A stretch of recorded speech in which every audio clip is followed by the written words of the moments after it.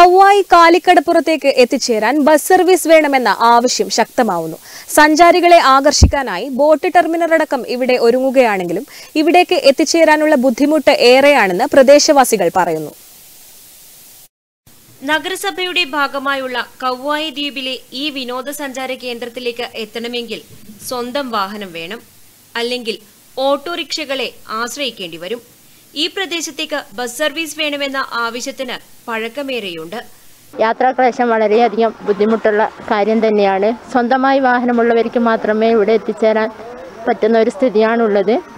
അപ്പോൾ നമ്മുടെ നാട്ടിലുള്ളവരുടെ ഒരു ആവശ്യമായിട്ട് ഉയർന്നു വന്നിരിക്കുകയാണ് കവ്വായിലേക്കൊരു ബസ് ഗതാഗതം. അപ്പോൾ അധികൃതരുടെ ഭാഗത്ത് നിന്ന് നമുക്ക് വേണ്ട യാത്രാക്ലേശം പരിഹരിക്കുന്നുള്ള നടപടി ഉണ്ടാവണമെന്ന് അഭ്യർത്ഥിക്കുന്നു ബസ് സർവീസ് അനുവദിക്കാത്തതിനാൽ നാട്ടുകാർ ചേർന്ന് ജനകീയ ബസ് സർവീസ് നടത്തിയിരുന്നെങ്കിലും അത് മുന്നോട്ട് കൊണ്ടുപോകാനായില്ല.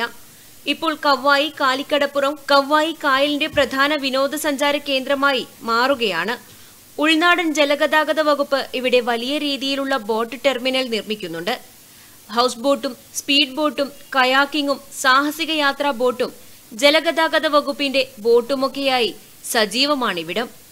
ജില്ലയുടെ പല ഭാഗങ്ങളിൽ നിന്ന് പയ്യന്നൂർ പഴയ ബസ് സ്റ്റാൻഡിലേക്ക് വരുന്ന ബസ്സുകളുടെ ഏതാനും ട്രിപ്പുകൾ കവ്വായി കാലിക്കടപ്പുറത്തേക്ക് ദീർഘിപ്പിച്ചാൽ ഈ യാത്രാക്ലേശം പരിഹരിക്കാനാകും.